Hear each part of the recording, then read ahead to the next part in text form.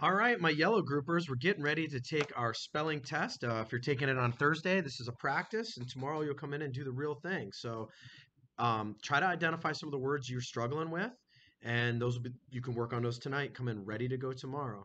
First thing we're going to do, let's set up our page. So, as you guys know quite well, you're going to put your name and date at the top. We'll skip a line. Spelling test, skip a line and we're going to do words and your sort all on the same line going horizontally. Then vertical lines, we're going to do one, two, three, you know this. And then in the margin, in the margin number 1 through 25, staying tight to the pink line, right? Pause your page, get your page set up exactly as I have it, and we'll be ready to roll. All right, here we go. Number one, hopped hopped.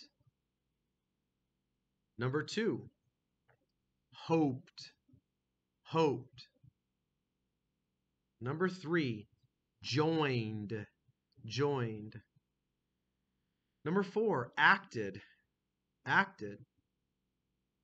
Number five, planned, planned. Number six, saved, saved.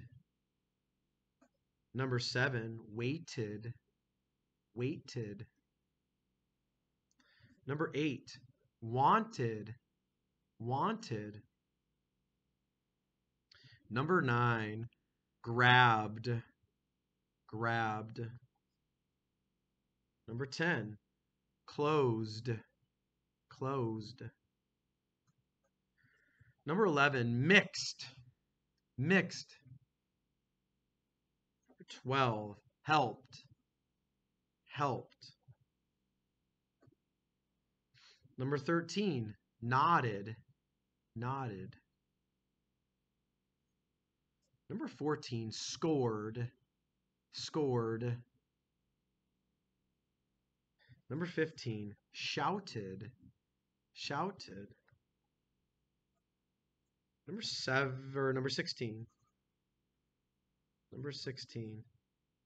Started. Started. Number 17. Stirred. Stirred. Number 18. Stepped.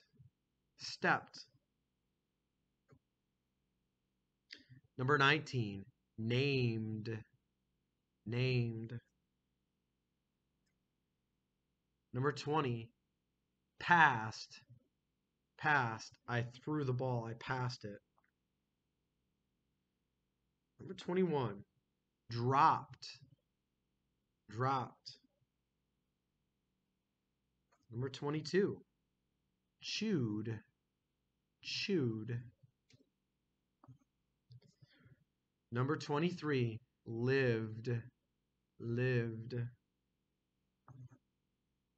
And number 24, seemed.